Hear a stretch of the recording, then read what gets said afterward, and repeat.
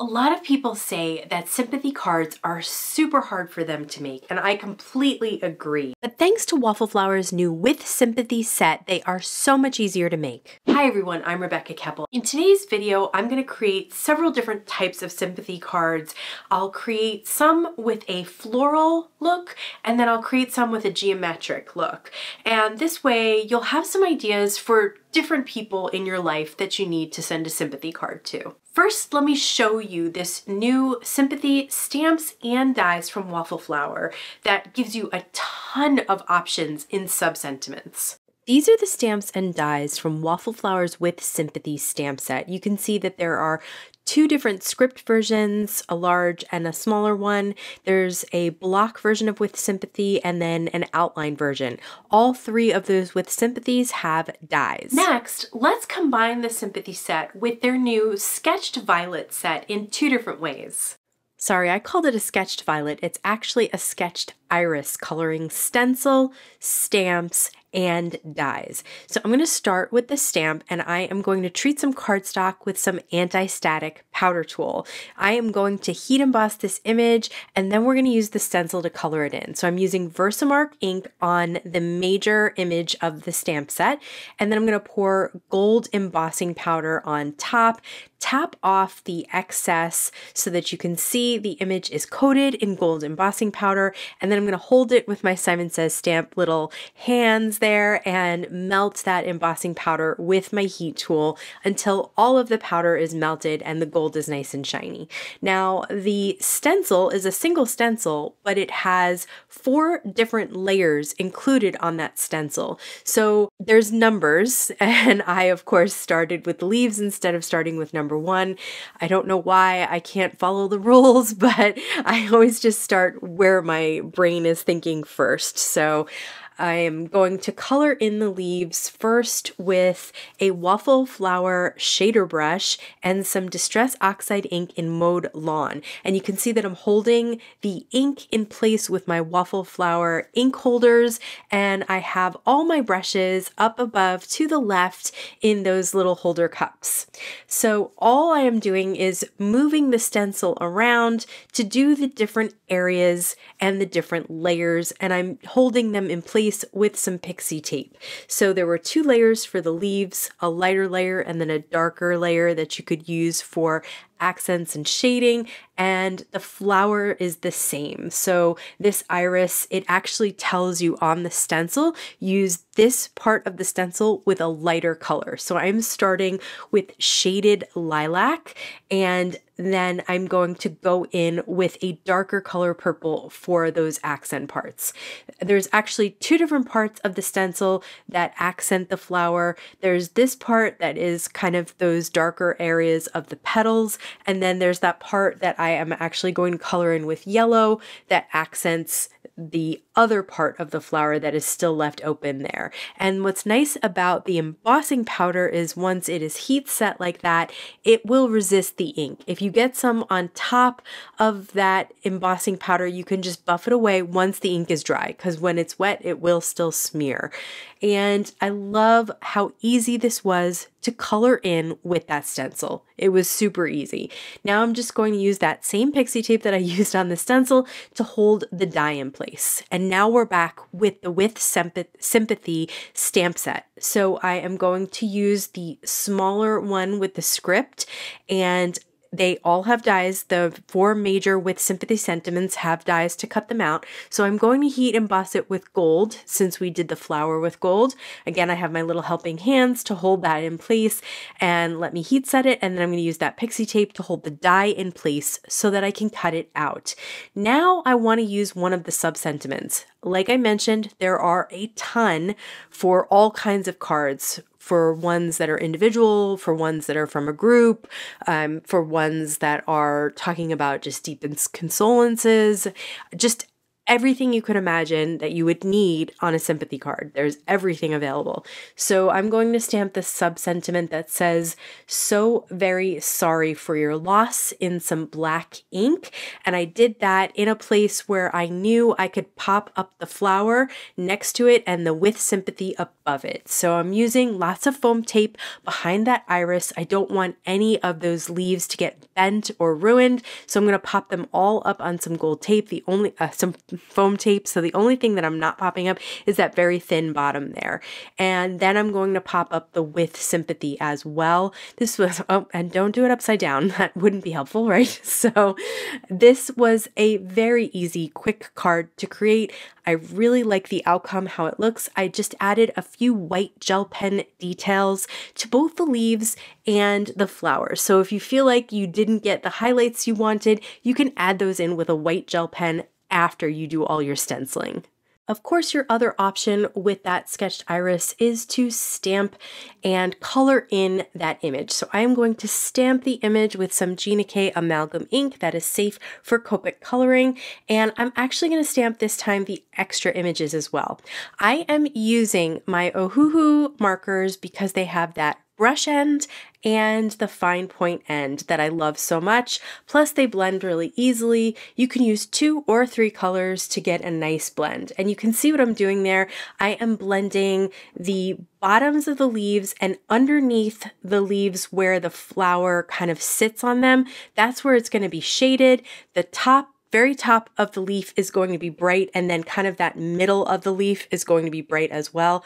I usually do light coming from above or in front.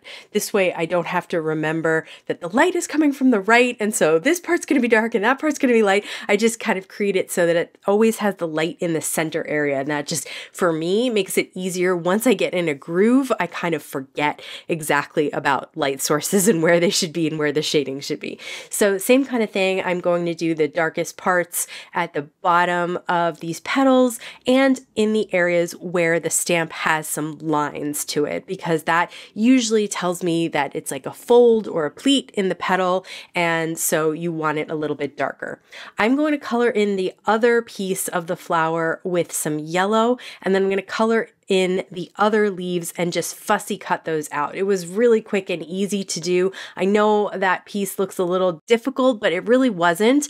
And I cut it right up to the black so that I could layer it on top of the die cut image and it would look like it was part of the original image. So I thought that was kind of cool to be able to do that and add that extra color in. This time I used the larger stamp that says with sympathy with the script sympathy and I decided to heat set it with silver embossing powder and die cut that out. Again, I decided to use the foam tape. I really like the way this image looks popped up. This time I'm going to stamp and heat emboss the sub sentiment. Probably should have thought of that before I put all that foam tape down and whatnot, but it's okay.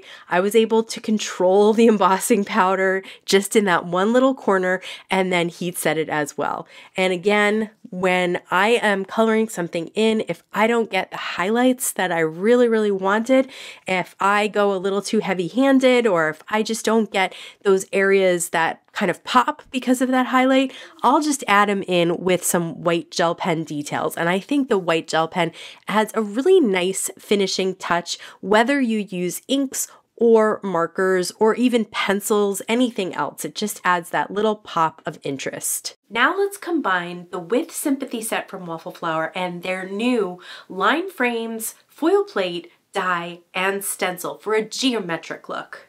The line frames foil plate is a whole panel image, so I am going to pixie tape some foil with the silver side facing the paper, the color side facing out. Down on the back of that paper, I have two little pieces of pixie tape. So this whole bundle is going to sit on the foil plate. This is a way to make sure your foil doesn't slide around. Now, what I didn't do here was stand up and look over the top, so I missed how much of the foil plate I didn't get on the paper but that's okay because we can cut this panel down to four by five and a quarter. But what didn't happen was it didn't slide around. I got a little bit of overfoiling and all I'm gonna do there is use a sand eraser. It wasn't in an area that was super delicate that I was worried I was going to scratch off the design. It was kind of in those center areas. So it was very easy to just sand that right off. Okay, so again, I am going to adhere down a piece of silver foil with the shiny side facing out and the dull side facing the paper. And then I'm going to pull out my platform. If it's getting sticky for you, pull out the platform first before you lay down this little sandwich. And once that's down, again, I didn't look overhead, so I'm missing the little top there. That's okay. Again, we'll cut it down and then put your plates on top and run it through your die cut machine. This came out really great. There was no overfoiling here. Of course, I missed that little bit at the top. That's okay. Again, we'll trim it down and we'll mat it on some cardstock, but look at how nice the foiling came out. This one I did in a dark blue foil. So I will link to the foil colors I used down below in the description box under the video. I'm going to cut all of these down to four by five and a quarter so that I can mat them on some coordinating colors of cardstock. The die for this set actually cuts out an entire square. So I cut the center out of the silver and I'm going to layer that on top of the blue. The stencil colors in all the little different bits. So you can choose to color in just some of it. You can choose to color in all of it with different colors. You can choose to color it in with two different colors, whatever your heart desires. This is such a fun stencil to really add some color to this foil plate. What's nice, again, like I mentioned before, the ink will not cover up the foil. It can always be brushed off if it does cover the foiling a little bit, but the foil resists resists the ink. So you'll get beautiful coloring inside those foiled lines and you'll still be able to see the shine of those foiled lines. So I'm using a whole bunch of different Distress Oxide colors. I have Prize Ribbon, Tumbled Glass, Uncharted Mariner, and Speckled Egg. And I've used all the different shader brushes from Waffle Flower to color those in. When I don't have a huge area to color, I like to use those shader brushes. Besides a sand eraser, you can use a white white gel pen if you just have very tiny areas that you need to fix. I am going to stamp the sentiment this time with chipped sapphire distress oxide ink. I love the way chipped sapphire looks for sentiments uh, because it's different than black or brown or gray. It's a dark, dark blue, but it, it pops just as much as a black would. And then I am going to adhere this panel down onto some Cosmic Sky cardstock and that will be a nice finishing touch mat around the edge. For this card, I'm going to cut down the gold foiled panel down to four by five and a quarter once again, because at the end I will mat it on some cardstock and that'll allow me to cut off those little strips that I missed when I was foiling because I didn't stand up and look over top.